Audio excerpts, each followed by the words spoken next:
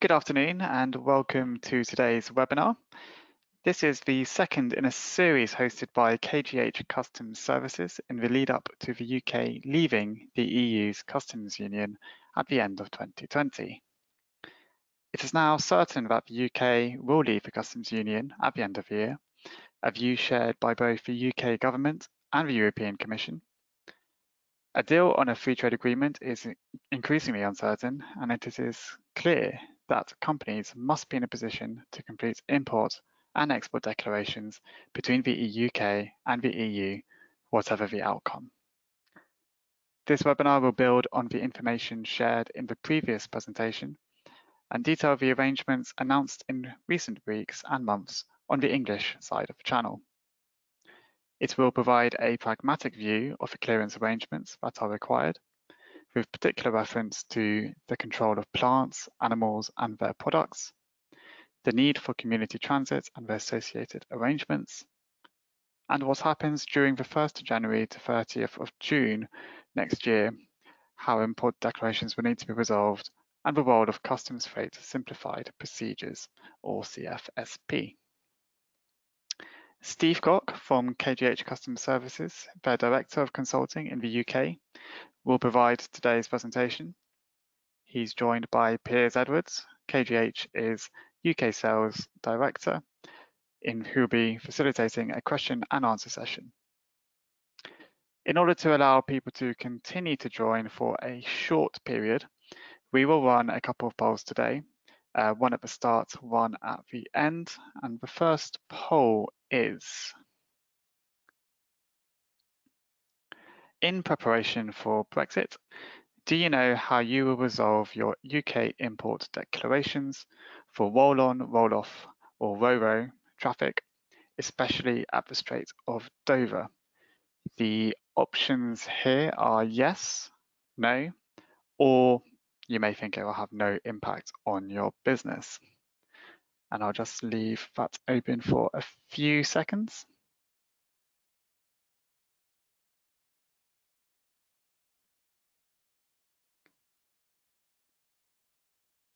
and a few more almost at the majority of people having answered.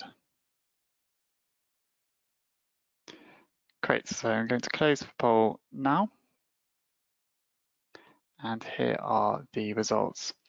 So 52% of you uh, will do know how you will resolve your import declarations, 30% no, and 17% no impact on your business.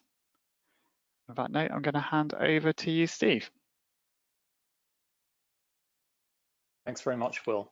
So in a way, the results of that poll are effectively what I would expect to see at this time. There are lots and lots of uh, companies out there that have made all their plans and are in a fairly good position, but on a very on a on a daily basis, uh, we are contacted by companies that still have uh, done very little or even have done nothing for Brexit and are looking uh, to resolve their difficulties at this very late moment in the day.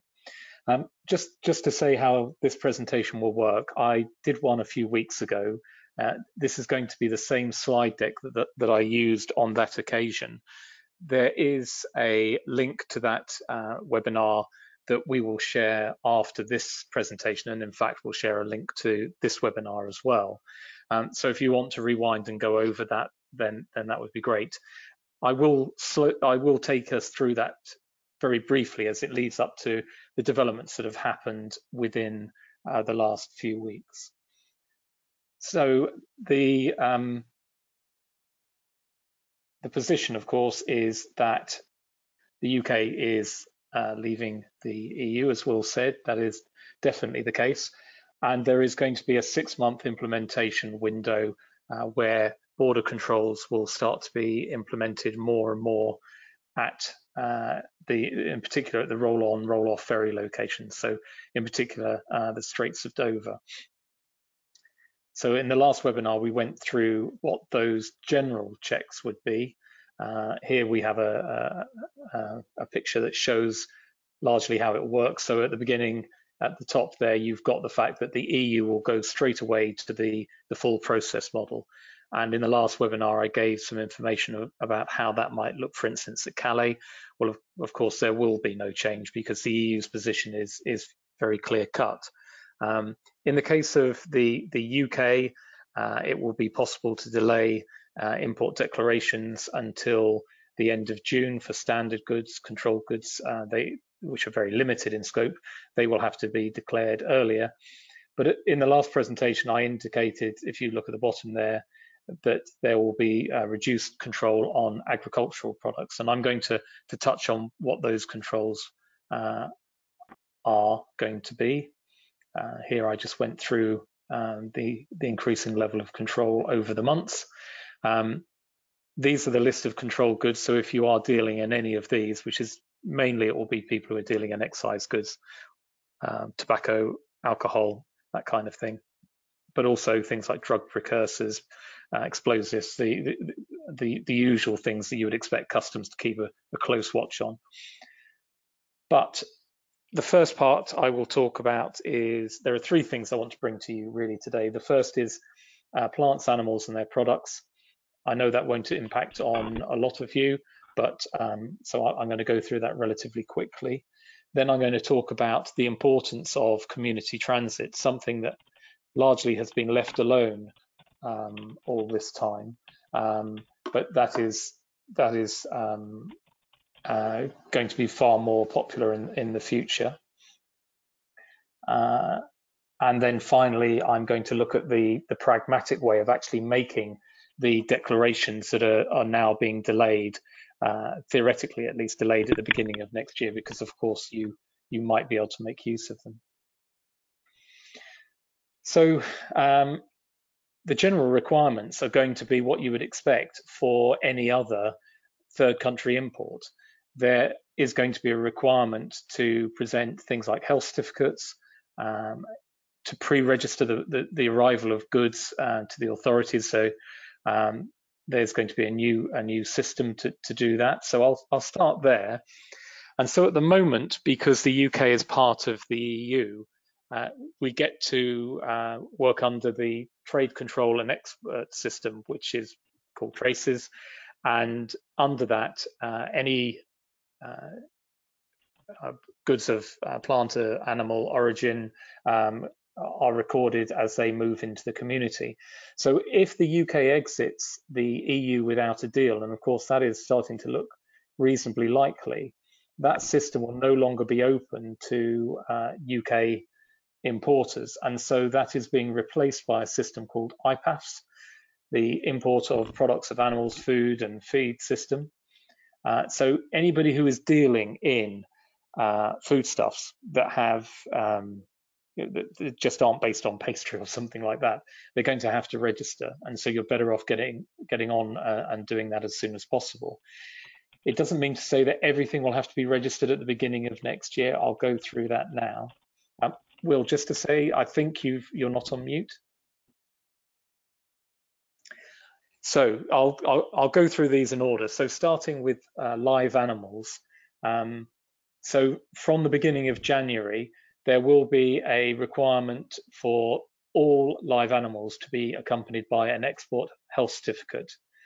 And the arrival of those those animals will have to be pre-notified through IPAFFS at least one working day in advance of the arrival. And that will give the authorities a chance to decide whether or not they want to inspect that consignment. Um, the uh, there are additional requirements if they're endangered species, but obviously that's very unlikely. Um, and at this point, those consignments can just enter the UK at a point of entry, but there is no requirement to present them. Uh, the IPAFFS system will elect um, the authorities determine whether or not they want to do controls inland. But then by July, uh, entry via a port of entry will be required and it will have to be one that is associated with a border control post. And there will be documentary identity and physical checks on those animals. So realistically, the, the whole system kicks into effect in July. Then we have not just the animals themselves, we have animal, uh, products of animal origin and animal byproducts. And so these are categorized either as uh, high risk or, or low risk uh, goods. And the high risk goods are generally contaminated meat, um, condemned meat, things like that. So that's not going to uh, crop up very often. Um, but from the beginning of January, uh, high risk product will have to be properly declared. Um, but all other uh, all other animal uh, byproduct goods um, will still need to be accompanied by the official commercial documentation, but there is no need for pre-notification. So come April, so three months in, um, imports of uh, products of animal origin uh, at this point will have to be supplemented, supplemented by an export health certificate and they will also have to go on to IPAFFS to be pre-notified in advance. Again, that's a day before the shipment arrives. And then in July, you will have full controls implemented. Uh, and so that means that the entry will have to go by a, a, border control point for, again, like the live animals for documentary and physical checks. Uh, fish and shellfish and their products, there's more control over those. Um, so from January, uh, imports of live fish, um, in the same way as live animals, uh, will have to be pre-notified. There will have to be a, a, an export health certificate, and potentially there will also have to be a catch certificate uh, for marine caught fish. And then in July, in the same way as live animals, you're going to have to go via a border um, control point. Moving on to plants and plants products. Uh, so the exporter will need to apply for a phytosanitary certificate um, from the competent authority in the country of origin. And this will need to be obtained prior to the goods departure. So obviously that's going to be quite difficult in a lot of cases. And then that has to be sent to the importer for pre-notification purposes. Once the importer's got it, uh, they have to submit the import notification at least four hours prior to the arrival if the goods are coming by air, and it's at least a day um, prior to arrival if if it's coming by some other means. And in terms of the kickoff date at the beginning of January, uh, so if it is high risk um, plant material, a phytosanitary certificate uh, will be required. There will be a pre-import notification requirement and the goods may be checked and inspected on entry to the UK. Again, there's additional requirements for CITES. The only difficulty here is that the list of high risk um, plants and plant products uh, hasn't been announced yet. I mean, it's unlikely to affect anything really, but um, anyway, that hasn't been announced. And then in April, um, there will be a new requirement applying to all regulated plants and plant products. And so phytosanitary certificate, pre-import notification, the goods may be subject to check again. But again, the list of regulated plants and plants products uh, has not been announced. So that's that's the movements that are taking place in the um, the animal and, and, and plant sector. So last time we we touched on uh, CFSP. Um, for those who, who, weren't part of that, I'll give you a quick rundown. That was uh, that's customs freight simplified procedures. So this is a model which allows you to declare all of your imports that you've made within a month at the end of the month as a series of supplementary declarations. So it removes the need to make a, a full import declaration at the port. And importantly, at the moment, if you work with a freight agent, they currently have to uh, work with you under an indirect basis under CFSP. So they are as equally liable for the payment of tax as you are. Um, but from the beginning of next year, there is going to be an easement, which means that CFSP agents will be allowed to act on a direct basis for their clients, such that they um, can clear their goods and not assume any liability uh, for, for the imports that are made. So skipping forward, I'm now going to give a bit of a rundown on how we see the actual uh, process of making de declarations taking place in 2021. So really there are two options that are open to the importer. You can either have a full declaration, So that can either be made at the time that the goods arrive. Um, now, if KGH is working with a client, that is our, our preference because we never want to fall behind with um, the declarations that, that, that, we're making for our, our, customers. We don't want to be holding back on a, uh, several months worth of declarations that then need to be processed. But the full declaration can be made either at the time of arrival or following the import within six months. And so an import that takes place in February would have to be declared in July and so on. The alternative is that CFSP declarations will be made, but the, the key thing here is that these must be made via a CFSP approval. So if you don't have one and don't have access to one through your, your broker, then you must make a full declaration before the end of the period. So with a CFSP declaration, it's a monthly return. And so again, our preference is that the clients that we work for, either in their own name because they have their own CFSP approval, we will make their declarations in January and then February and March and so on. But it is of course possible to delay those declarations so it could be that, again, February's imports were delayed and carried forward uh, to the following July. But again, it's not something that we want really to be involved in. So the question is CFSP approval. Um, the problem at the moment is UK customs are effectively discrediting the value of CFSP at the beginning of next year if you wanted to get CFSP before now, you had to fight your way to do it because you had to demonstrate to customs at an AEO level that you were capable of controlling uh, the imports that you made and that you could classify your goods properly and on all of the things that were necessary to make a declaration. The problem is, of course, next year customs have not only said, well, everybody can make use of CFSP, because we've got no other way of controlling your imports. They've gone one step further and they've allowed uh, entry into declarants records, which is a uh, simplification that is allowed for only the most trusted of traders, and that is that that generally is only allowed if you're uh, authorized economic operator AEO approved. And so next year, customs have said, well, anybody can use it when they've said in the past that normally you really have to go through a long application process eventually that's going to come back in. And so if you want to make use of a CFSP uh, declaration uh, to clear your goods in 2021, either you have to integrate within your broker's approval or you have to gain your own approval.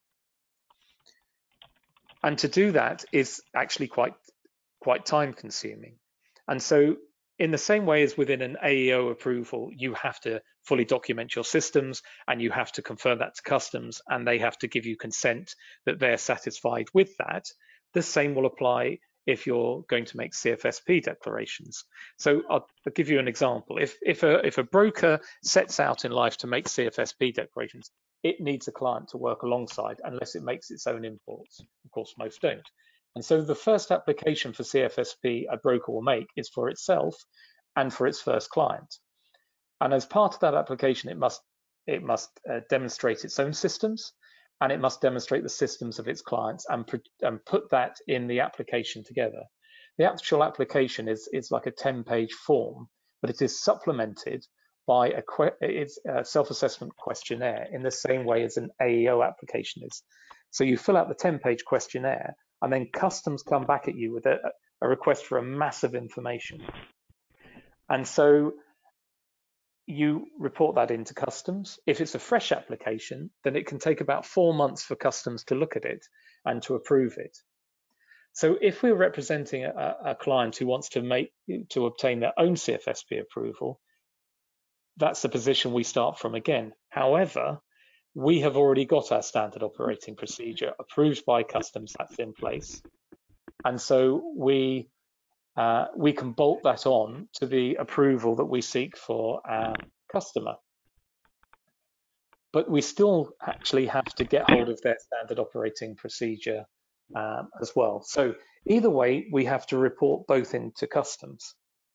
the advantage of doing it through a existing approval is the time, because an, an original application takes about anything up to four months At the moment, customs are saying that they will make an amendment to an existing approval to allow additional trade within about two weeks. So I'll just quickly run through the, the advantages and disadvantages of the importer having their own. Um, so if the importer holds their own, they can move between import brokers uh, and main, maintain all shipments under a single approval. So it could be, for instance, that KGH represented a client in a number of ports, but there was a preference to use another port somewhere else and to use a different agent. Well, of course, that can be consolidated under one approval if the importer holds it themselves. For the broker, for KGH or the likes of us, it means that when we're managing declarations on behalf of our clients, it's it's more readily done because we have a separate approval number. And so that gives us uh, a degree of clarity uh, in terms of the actions we take. And it, it, just makes life a lot easier for us. And, um, and the, the scope for error is reduced. Also, liability for duty and everything else clearly rests with the holder of the authorization. I mentioned earlier that direct representation becomes possible uh, at the beginning of next year. But if I move over to the disadvantages, um, one, there is no certainty at this time that um, CFSP will be open to non-UK companies. However, uh, all of the, the, the sounds that are coming out of customs will be that it is. Um, but the time frame and the time frame for approval is is four months, um, as I mentioned earlier. Um, but it, here there is an a, additional advantage that the CFSP approval. It doesn't matter if if HMRC at a later date change the the rules to do with direct and indirect representation, because it's always going to be at the, the, the liability of the the holder. So moving on to the the case where the broker holds the approval, as I've indicated, there's a speed of integ integration as long as you can bring together the, the client's standard operating procedure. But here, the holder cannot move CFSP imports between brokers unless that is all of the brokers that they work with implement, implement them within their own CFSP approval. So it may be that you're effectively making three or more CFSP applications just to allow yourself to do imports when a single approval would let you do it just once. And then, as I've mentioned again, there's the, the, the, the, issue of direct representation. Now, at the moment, that is in place, but that may not be in place uh, forever and a day. So moving on to, to transit. So transit is something at the moment that is hardly ever used within the, the, the, the, the trade between the UK and the EU. And it will be used to a degree uh, for imports in the same way as it is currently. If you're shipping from Switzerland, maybe, and don't want to declare on the French border, you would uh, come in under transit to the UK.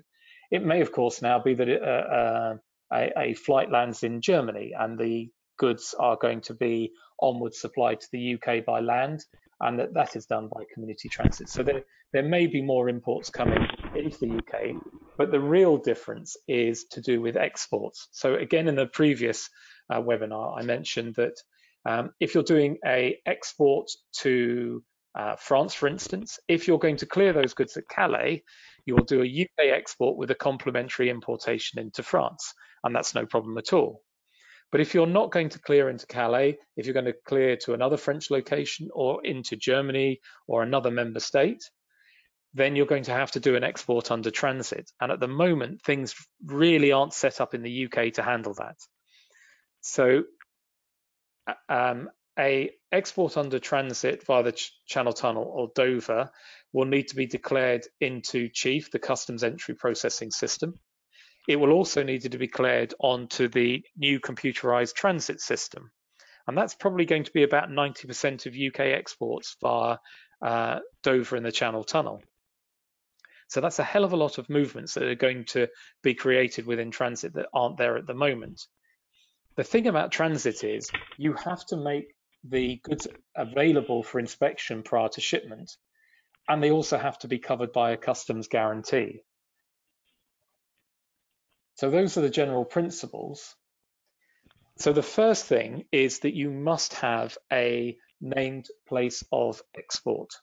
And that can be one of two locations.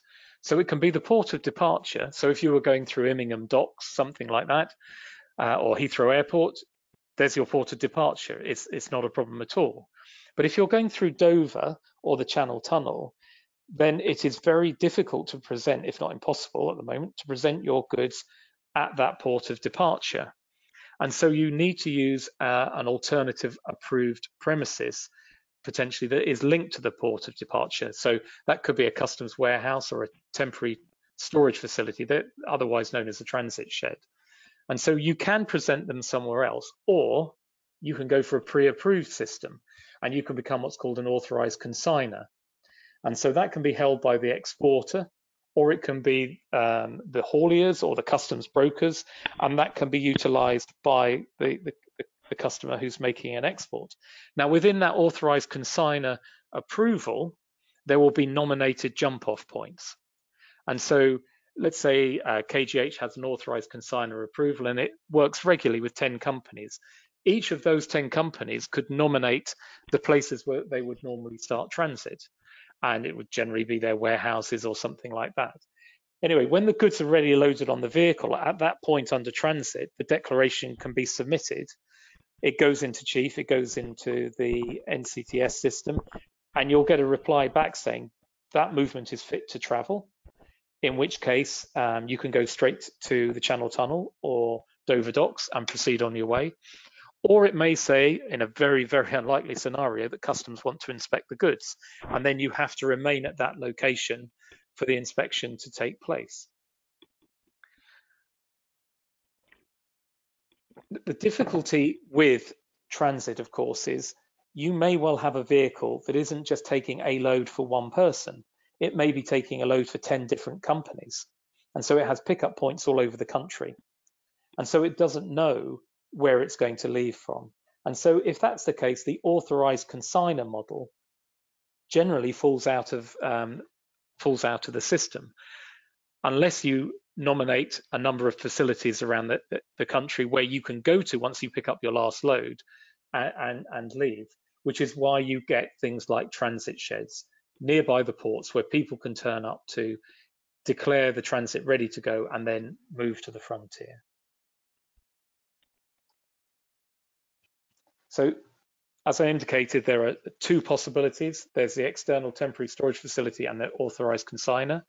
Um, both are AEO level measures. So it's a similar situation to CFSP. You have to demonstrate that you have controls before you're granted the approvals. Um, in the case of the temporary storage facility, the transit begins there. And so if the transit facility is nearby Dover in, in the Kent area, then the vehicle could move there, declare itself ready to travel.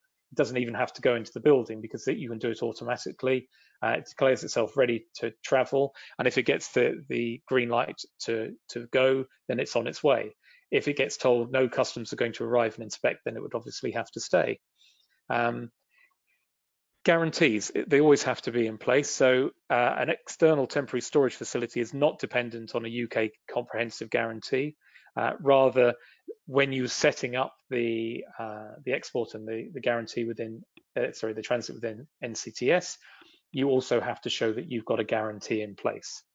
And that could be from a centralized one from any provider within the area covered by um, the uh, the EU-wide or European-wide uh, system. Most importantly, the client of the operator does not need prior approval by HMRC. So anybody who's given green light to use that transit facility, who has the right paperwork filled out, no matter who the haulier is or who the agent is, as long as the owner of the facility is happy for them to do so, they can turn up and they can be, be uh, given the green light to go. And this is in particular suitable for multiple pickups.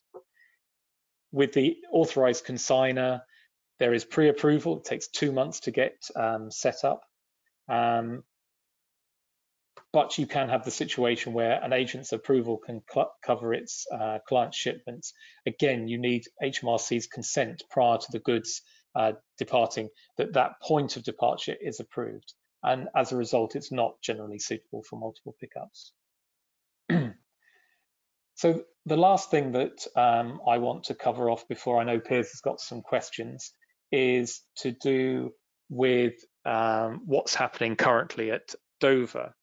And so uh, yesterday I was down at um, Ashford, um, KGH are developing a export transit facility down there. Uh, I've got two images for you here. So at the moment, HMRC on the right-hand side are uh, building this uh, Mojo facility, which stands for uh, M20 Motorway Junction 10A, so Mojo. Um, but this is going to be their border uh, facility. And if you look towards the, um, the, the left-hand side of the image, you can see a very straight line um, running alongside it. That that is the uh, the train line that runs from London to the Channel Tunnel. Um, to the left of it, you can see a brown site. So this aerial photograph was taken quite a while ago. The the Mojo facility is now very brown because they bulldozed a lot and they're actually building the border inspection facility. The, the, the site to the left, which is a brownfield site there, is actually now developed and that is where there is a international truck stop that can take 600 vehicles and that is where HMRC and Border Force are setting up their border inspection post. And so uh, uh, the, the road sign you can see on the left, it's freight clearance facility at, at Waterbrook. So the Waterbrook facility is there and that's temporary. And so that's that's the the arrangements that are, are coming on stream at the moment. So that's basically all that's changed in the last few weeks. I know Piers has got a good number of questions, and we've got about 10 to 15 minutes left. So, Piers, can I um, can I ask you for the, the first of those? Absolutely. Thank you, everyone, for sending your questions through. We'll try and get through as many as we can. The first question there has always been some doubt in relation to the benefits of an AEO approval. Does Brexit mean that these are now clear?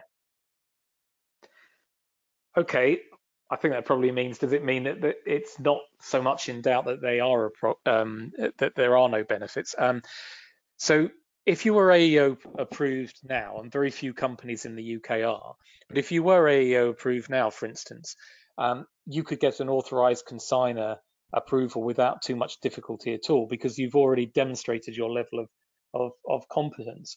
In addition, if you were the type of person that was going for a transit facility uh, near to a port, then that would help you greatly. So in the past, I've not been a great advocate for AEO, but it's certainly starting to look like that there will be real benefits from it.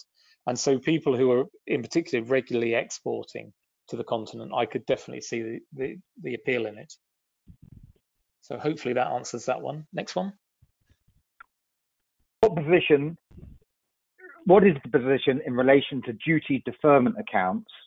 Is it correct that no customs guarantee will be required? Okay, so customs have said that this is um, going to be the case next year. So at the moment, if you want a duty deferment statement, a, a duty deferment account to account for your duty on a monthly basis, you uh, require a comprehensive customs guarantee to get one. Now, at the moment, you still need that. We've been trying to get customs to confirm that that isn't actually required if you're just going to get one for next year, but they haven't done so yet. So, yeah, theoretically, from the 1st of January at the moment, if you apply to customs for a duty deferment account, you'll be able to get one without a, um, a guarantee. But having said that, um, there may well be a limit on how much you can guarantee. And at the moment, you don't, you won't have to guarantee VAT, import VAT, but you will have to guarantee duty, and it may be relatively limited. We're not sure. That's that one. All right. Question number three: Is the UK prepared for the level of export transit, and will there be sufficient third-party guarantees? Okay. Well, I I have touched on that. In terms of will, will there be sufficient uh, third-party guarantees? I think there probably will. Um, I know KGH as an organisation has upped its transit guarantee significantly, and it's in the many tens of millions now. Um, I did speak to one particular supplier of uh, transit to see what they were doing, and I think they've upped their guarantee to the better part of 100 million. So I, I think the cover is out there. Um, just to say for those who um, aren't aware of transit, it is reasonably expensive compared to a straightforward export because you have to not only get your export document, you have to get your transit document, and then potentially if you don't have your own guarantee, you have to pay for the right to use somebody else's guarantee. Um, and clearly all of that can add up. So a single transit export of, of reasonable value, you may be paying 100, 120, even more uh, for the export um, declarations that you need created. Okay. All right, number four. Is it correct that a CFSP approval only needs to be in place by the end of June 2021? Yeah, that would be the case. So if you've got, um, if you're making imports uh, with the assumption that you're going to declare them under CFSP, um, then yes, you basically have nearly 10 months from today to get your CFSP approval in place or to integrate yourself uh, with a provider of uh, who has CFSP already. Number five, you sort of touched on this early on, but when will the list of high risk plant products be released? Uh, that I don't know, I'm afraid. It, it shouldn't, I would hope it shouldn't be too long, but I think the truth is it won't really affect um, that many um, that many shipments anyway. I, I, couldn't even think of what a high risk plant would be unless it was something that was poisonous.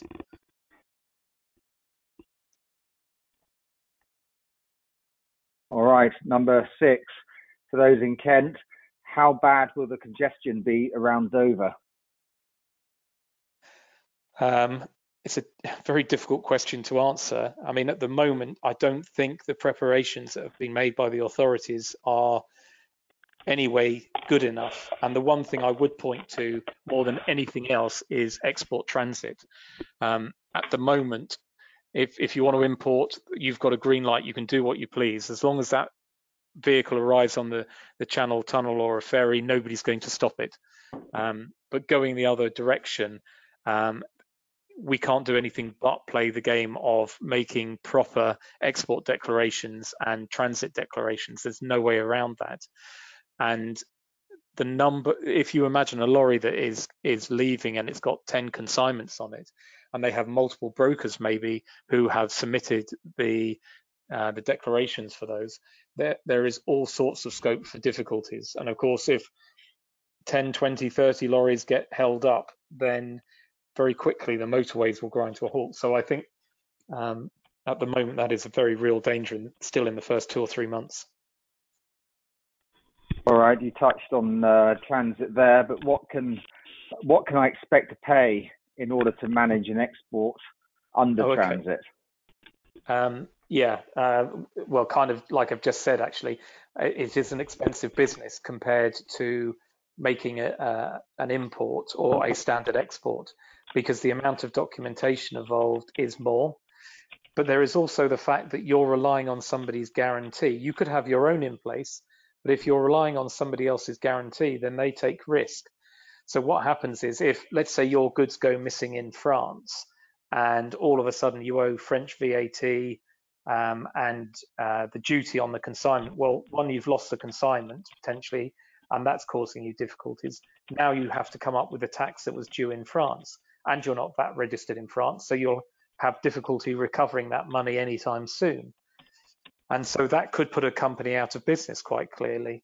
Um, and if that happens, then the guarantor they is the person that the authorities go to next to call that money to account. And so there's risk for them. And of course, they charge for that risk.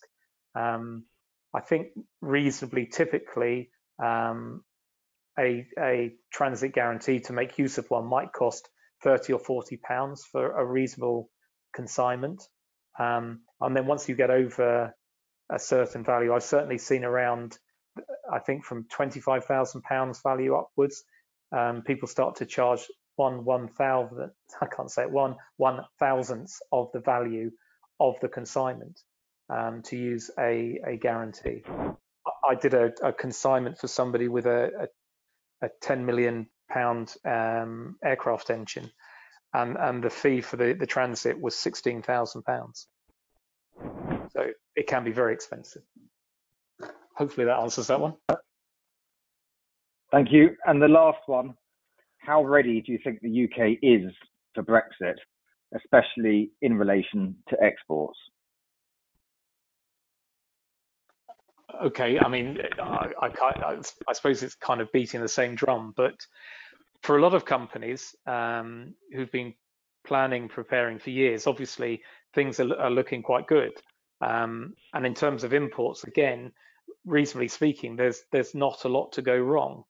But the real difficulty is going to be the export side of things, and I'll keep keep coming back to it. But it is going to be the transit arrangements that uh, potentially kills um, not kills UK trade, but to a certain extent puts a real shackle on it. Because if you're not going to do transit, then you will have to do your import into France. And to do that, you will have to be VAT registered in France because otherwise you won't be able to recover the import VAT that you pay. And obviously getting a French VAT registration is, is it doesn't happen necessarily that quickly. And then you, if you've paid the money, then you have to recover it. And so the whole export through Dover is fraught with endless difficulties at the moment. And my view is that there just aren't sufficient companies that are setting themselves up properly to take care of that. If I were the CEO of a, a UK uh, company with um, exports to the EU, that would be the thing that kept me awake at night at the moment. So on that doom fill note, um, I, I, think that's it. So Will, um, I think that's bringing us to the end of the, the session. So would you like to um, wrap up and run the final poll? Yeah, of course. So we have one last poll, which is how well how well prepared do you feel that your organisation is to manage community transit? The options we have here are uh, very well prepared with all the required permits in place, reasonably well prepared with some outstanding issues being resolved, insufficiently prepared but aware of the issues, unprepared, or other, for example, transit will not impact the organization. And again, I'll just leave that poll to run for a few more seconds.